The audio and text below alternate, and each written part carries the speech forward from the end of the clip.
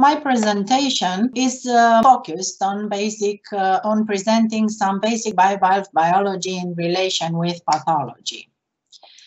Um, the topics Hope you all can see this. The following topics is um, comprised in this presentation. For the beginning, some general information on the Black Sea, and then a few words about the Black Sea habitats as they were uh, classified in the last years, and then uh, mollusks and their economic importance in the Romanian Black Sea, some general presentation. Um, few remarks on biology of Mediterranean mussel, uh, Mytilus gallo-provincialis, and uh, mussel's natural enemies, uh, general presentation of predators, competitors, and parasites. Um, for the beginning, uh, some uh, peculiarities of the Black Sea. Uh, the Black Sea is a semi-enclosed sea which covers uh, more than uh, 400,000 square kilometers. Its maximum depth is about 2,212 kilometers. Drainage area is 1.9 million uh, square kilometers its annual flow is 350 cubic kilometers of water coming from an area representing almost a third of uh, continental Europe. Uh, this is the Black Sea catchment. Um, I can say that um, uh, due to a large catchment area as compared to its own, the Black Sea is very vulnerable to pressure coming from land-based human activity and its health is equally dependent from the coastal and non-coastal states of its basin. An important feature of the Black Sea is an unusually high river discharge into the relatively small semi-enclosed sea, which is the Black Sea. The Black Sea drainage basin covers almost a third of Europe. The largest river is Danube flowing through 10 European countries. Uh, the Black Sea is connected with the world ocean by Bosphorus Strait. It is surrounded by six countries, starting from the north, we have Ukraine, Romania, Bulgaria, Turkey, uh, Georgia, and Russia. Black Sea is considered the greatest brackish water basin in the world with 17, 18 average salinity. The center of the Black Sea Depression consists of a deep water basin, which is represented here in blue, uh, with a depth of uh, 2,000, 2,200 meters. Salinity of the Black Sea differs strongly dimensionally.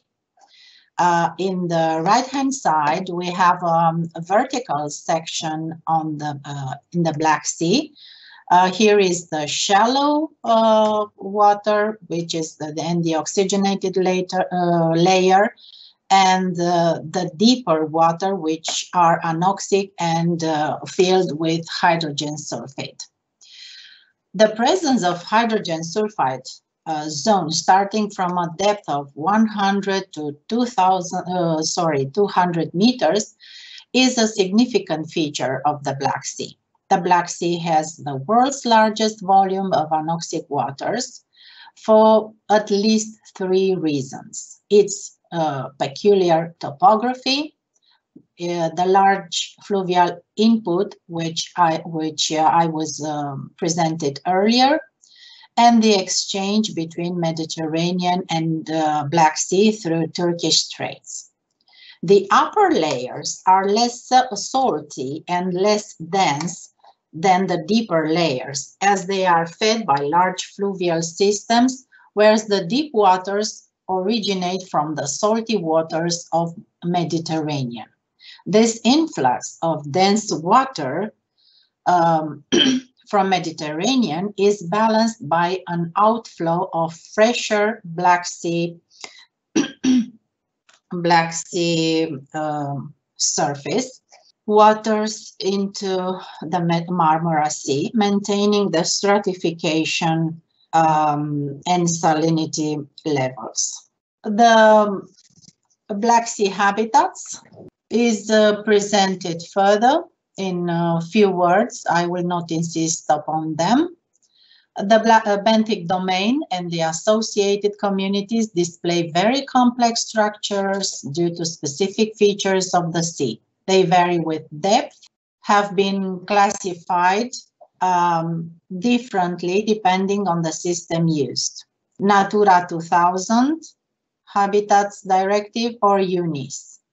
The most recent classification and mapping of the Black Sea benthic habitats was carried out within the framework of the EUSeaMap project and the maps can be found on the EMODNET website. The maps uh, uh, presented on these slides are not the newest maps, but the most recent ones can be found on the EMODNET website uh, in the uh, area uh, of um, benthic habitat mapping. In order to establish Natura 2000 sites, benthic habitats in the Romanian and Bulgarian Black Sea waters have been classified and mapped.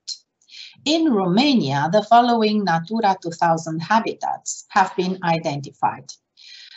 Um, shallow submerged sand flats with few uh, subtypes, uh, such as Zostera meadows on clean or slightly muddy fine sands, shallow fine sands, well-sorted sands, wave-lashed coarse sands and fine gravels, infralittoral cobbles, shallow sand bioturbated by Arenicola and Callianassa, sandy muds and muddy sands bioturbated by Upogebia. Other important uh, habitat types uh, are represented by sand flats and mud flats not covered at low tide. These are um, very shallow water habitats and uh, four subtypes were identified on the Romanian coast. These are supralittoral sands with or without fast drying drift lines, supralittoral slow drying drift lines, midlittoral sands, midlittoral detritus on shingle and boulders. Other important habitats are represented by reefs with uh, several subtypes, such as Mytilus galloprovincialis biogenic reefs, shallow sulfide seeps, boulders and blocks, supralittoral rock, upper mid-littoral rock, lower mid-littoral rock, infralittoral rock with photophilic algae, infralittoral rock with Mytilus galloprovincialis. This habitat goes down to 20 meters deep, deep, while the other, the first uh, subtype I presented below before, uh, it goes down even to 60 meter deep on other uh, types uh, on other uh, substrate than infra than rock. And um, infralittoral hard clay banks with Pholadidae as the 10th subtype of the reefs. Other habitat type identified in Romanian waters is represented by methanogenic carbonate structures and submerged or partially submerged sea caves. These are not very spread, but still they are present here. The next topic I will present is um, uh, refers to the mollusk and their economic importance in the Romanian Black Sea. The importance of the mollusk in the Black Sea ecosystem is well known. Some species widely covering the continental shelf, determining one of its main characteristics, natural biofilter. Being rather large organisms as compared to the, the other benthic groups inhabiting marine sediments, the marine mollusks, especially bivalves, dominate the benthos biomass, frequently accounting over 70-80% of the total biomass. Therefore, mollusks represent an important food source for both demersal and nectonic fish species. Additionally, their fossilized shells tell us the ancient story of this semi-enclosed sea basin. The mollusks were very well studied in the last 50 years and starting from the 1990s, monitored on the regular basis. Routine monitoring carried out on the Romanian Black Sea shelf in the period 2009-2015 evinced the occurrence of 26 mollusk species, among them 16 bivalves and 10 gastropods, establishing different communities distributed according to depth and sediment grains, grain size. Among these, shellfish species of economic importance are very few. Mussels, Mytilus galloprovincialis, and Rapa whelk Rapana venosa. There are still others that are potentially important, such as Chamelea gallina. Despite their rather small size, even Mya arenaria might be considered as potential uh, food source for the future. Mussels are continuously distributed on the Black Sea shelf, especially between 20 and 55, 60 meters constituting a specific community characterized by high abundances and biomasses on mobile sediments. Also, they may form important and compact communities on hard substrata, highly diverse in associated invertebrate fauna and macroalgae flora. Considering their economic and ecological importance, as well as their potential for commercial exploitation, the mussel stock of the Romanian shelf has been assessed a long times after the designation of special areas for the mussels growth and exploitation according to the um, requirements of Shellfish Directive, regular surveys were carried out. Rapa whelk, Rapana venosa, a non-indigenous invasive species, was firstly signaled in Romanian coastal waters in 1963, although the species was introduced in the Black Sea Basin in the 1930s or 1940s. This species was blamed for the disappearance of oysters in the Romanian waters and the decline of mussels populations. The assessment of Rapana populations in 2006 in the four areas designated of, for mollusks showed an increasing trend of, of the population abundance and biomass, and the main conclusion was that this species is even suitable for harvesting in specific season. Nowadays, this invasive species became an important resource exploited in the Romanian Black Sea waters as well first by harvesting and starting from 2013, as it can be seen on this graph, using beam trawl. Chamelea gallina is not exploited in the Romanian marine area so far. One of the reasons might be its rather small size. Nevertheless, economic agents started orienting their interest towards this species. Inhabiting the shallow waters, the species is easily accessible. For the moment, quantitative parameters are available from the routine monitoring and very few outside it.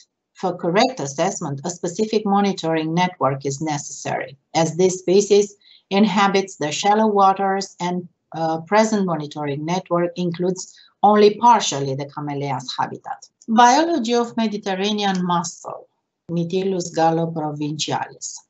Uh, we presented here the taxonomy according to World Register of uh, Marine Species. The origin of uh, Mytilus galloprovincialis and actually the family Mytilidae uh, appeared since the beginning of the Paleozoic era and with slight modifications they survived until present. Members of this family have a large distribution, being encountered mainly in marine waters, except for very few species adapted to freshwater environments. Systematically, blue mussels, uh, blue mussel consists of a group of at least three closely related taxa of mussels known as the Mytilus edulis complex. Collectively, they occupy both coasts of the North Atlantic, including the Mediterranean, and of the North Pacific in temperate to polar waters, as well as coasts of similar nature in the Southern Hemisphere. So these species, this complex of species are very widespread on the globe. the distribution of the component taxa has been recently modified as a result of human activity. The taxa can hybridize with each other if present at the same locality. Mytilus edulis sensu stricto is native to North Atlantic. Mytilus gallo-provincialis, the Mediterranean mussel, is native in the Mediterranean, the Black Sea, and Western Europe. It was introduced in temperate North Pacific, South Africa, and elsewhere in the Southern Hemisphere. A distinct lineage native to the Southern Hemisphere also exists. Mytilus trossulus, North Pacific, western parts of the North Atlantic and Baltic Sea. Mytilus gallo-provincialis lives on hard substrates from the intertidal zone to depths of 40, even um, lower. It is found along coasts and rocky shores and in sheltered harbors and estuaries. The native species range is in the Mediterranean and the Eastern Atlantic from Ireland and the United Kingdom to Northern Africa.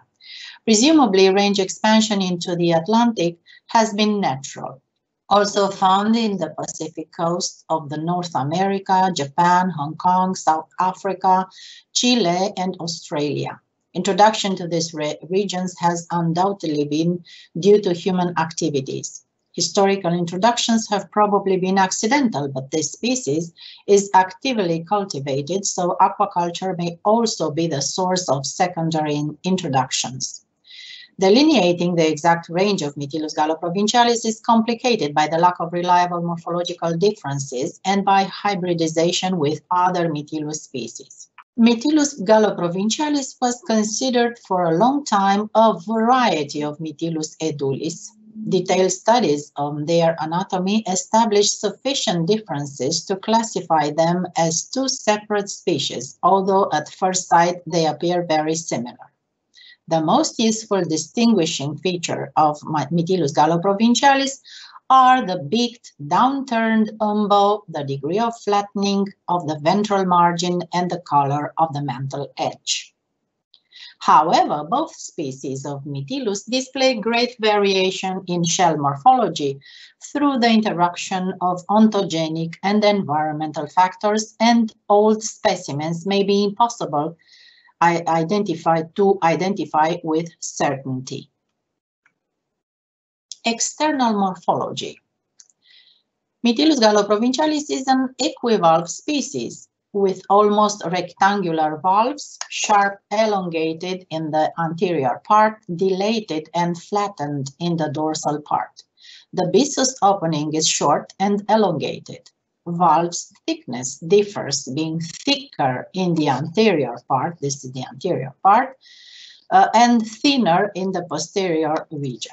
The mantle has two well-developed lobes covering entirely the animal. Although reduced, the gills and foot are still present and are the main features of this species.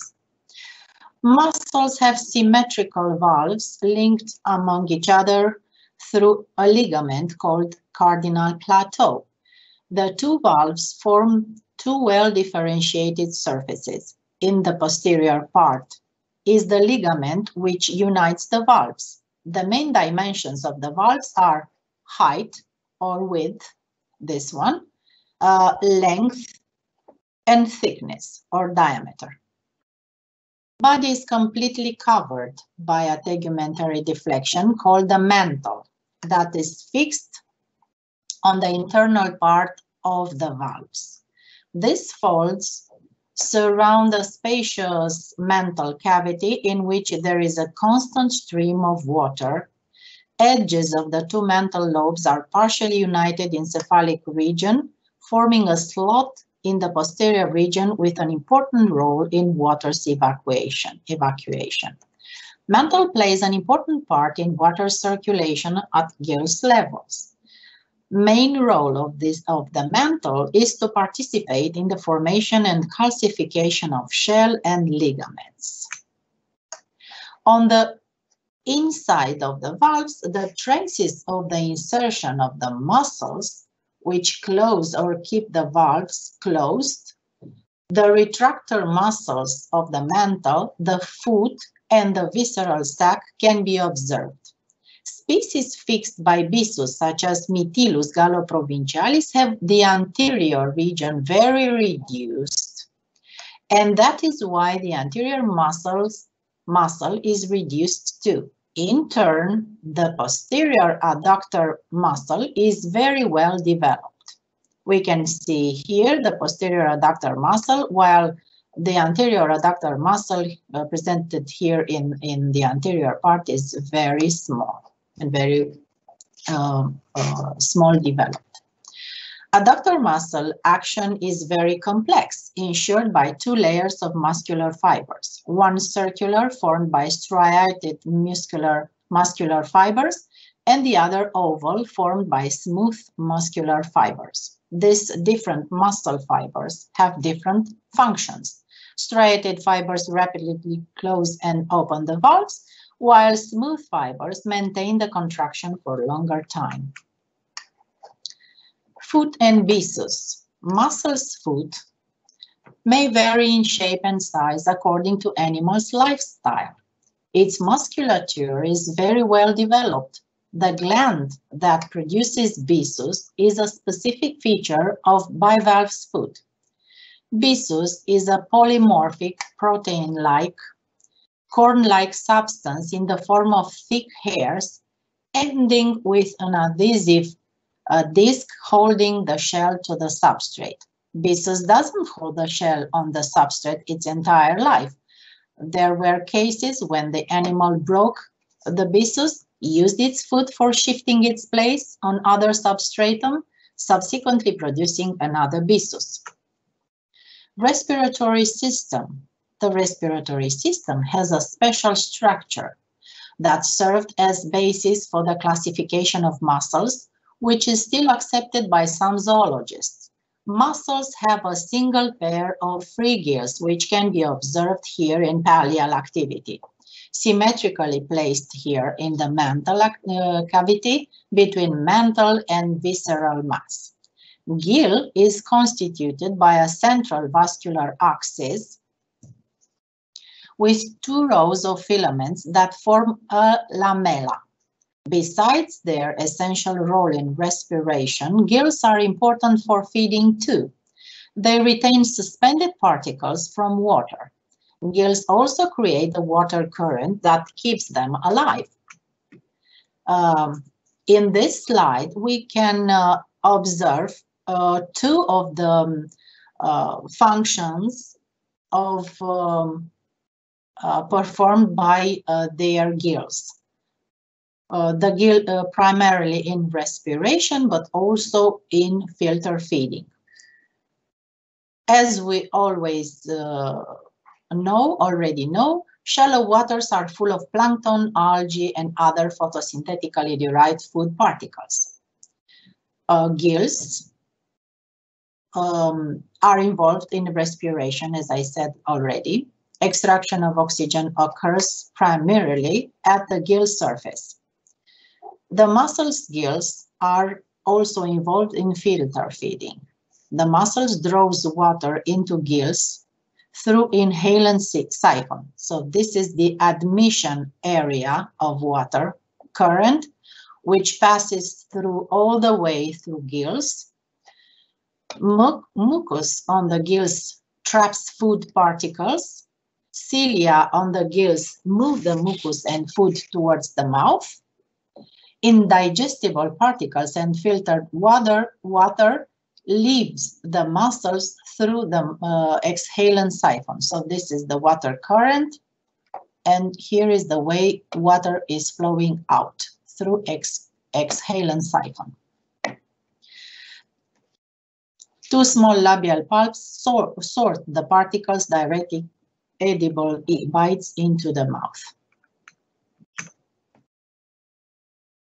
The efficiency of the branchial filter depends on the combination between movement and vibration frequency of gills. In unfavorable conditions, when the suspended particles are too dense or not acceptable as food, mussels change their behavior as follows. Firstly, they reduce the efficiency of the branchial filter, modifying the vibration trajectory of lateral cilia. Continue to pump water without filtering it by stopping mucus secretion. Lowering the volume to divert pumped water to the ventral part, the suspended elements do not come into contact with the gills and are expelled without being ingested stopping water circulation and close themselves. Digestive system of mussels is very simple and represented by the following components. A mouth located here in this area, a very short esophagus, a stomach contain, containing two openings, one to the intestine and the other one to a cecum that contains the so-called crystalline stiletto, a very short and ciliated intestine, the digestive glands, and the anus. How they feed. The basis of their diet is represented by diatoms, dinoflagellates, organic detritus, bacteria, flagellates and protozoans, spores, algae fragments, inorganic detritus. The way they select nutritious particles has not yet been established. Following dedicated studies, organic detritus represents the main food source of mussels. Some authors admit that organic mm, uh, detritus has an inferior alimentary value compared to phytoplankton and bacteria. It was demonstrated that the main food source for mussels is represented by phytoplankton because their body is fitted to intracellular digestion. Circulatory and excretory system. Circulatory uh, system in Mytilus is opened as it can be seen in these two drawings. um, is represented by a central organ, heart, with one ventricle, this one, and two auricles, this one, um, plus sanguine sinuses. The ventricle and the two auricles are closed in the pericardium, pericardial cavity. From heart, the hemolymph flows into the hemocoel and diffuses through a series of uh, tissue sinuses. Blood, called hemolymph, is colorless, rich in magnesium and contains hemocyanin. Excretory system is represented by a pair of kidneys located between pericardium and posterior adductor muscle. Different regions of pericardium function as excretory uh, glands eliminating uric acid. Few words about nervous system of mussels. Mussels possess a decentralized nervous system. There is no brain. The nervous system consists of three pairs of distinct ganglions. Cerebropleural, it is area, visceral, and pedal. Reproduction, gonads evolution. Mussel sexual glands are located in the mantle as diffuse structures in the sexual resting phase. Mussel uh, present separate sexes, the number of males being almost equal to number of females. The sexual cycle of mussels was studied for many years and the intersex changes were never observed, although sometimes some hermaphrodite individuals have been observed in very reduced ratio, 1 to 1000. Sexual maturity is quickly reached. Usually both Mytilus edulis and Mytilus galloprovincialis display similar uh, sexual behavior, but they when they coexist in the same biotope, Mytilus galloprovincialis has a longer sexual, sexual cycle. Under natural conditions, the preparation for spawning happens during winter time when food availability is limited. The necessary energy for this previtellogenesis, the formation of oogonia, came uh, from their glycogen reserves. The actual vitellogenesis, when oocytes are formed, occur when over a shorter period and involves the storage of lipids in the egg yolk of the female gametes. Microscopic observations on cross sections evinced better the maturation stages of gonads depending on the shape and size of sexual elements. Four phases have been observed in the gonads development to maturity. In uh, phase zero corresponds to the sexual resting. During this phase, debuting at the end of the last gamete is released, the animal accumulates sugar and lipids. The mantle presents a homogeneous aspect, white or orange color. Gonoducts are compressed and the genital products are not visible. In phase one, the mantle is less homogeneous. Follicles start to develop and display a fine network difficult to observe. In phase two, follicles start to show. The mantle is colored depending on gender. A red orange for females, yellow cream for males. The coloring is not always a precise criterion for gender recognition. Ova and sperm are well formed but still immature. In phase three, sexual maturity is reached. Gametes are ready to be released. Gonads can be easily observed because the mantle becomes translucid and reddish. There is not just one trigger responsible for the onset of the reproductive cycle. It is rather a combination of internal factors, the nutrient availability and hormone presence, and external factors, water temperature, salinity, duration of exposure to air, and food availability. Especially phytoplankton availability is very important in this process. When spawning, eggs and sperm are released from their follicles and pass through the gonoduct towards the genital papilla and are subsequently released through the exhalant siphon into the water. The fertilized eggs have a diameter of uh, 68 to 70 micrometers and will undergo meiotic divisions during which two polar bodies are released. The ciliated embryo will pass through the blastula and gastrula stage within 24 hours and develops into the first motile planktonic stadium. The trochophore, 48 hours after fertilization, the duration of the complete larval stage until settlement varies between 15 and 35 days and depends on the population and environmental factors.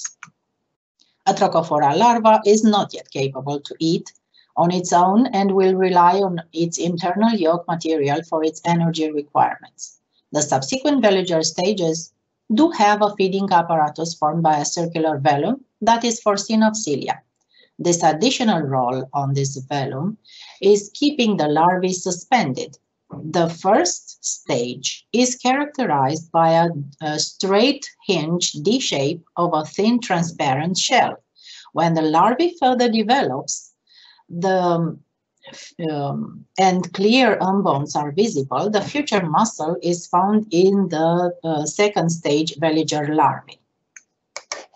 This is the schematic representation of the blue mussel life cycle.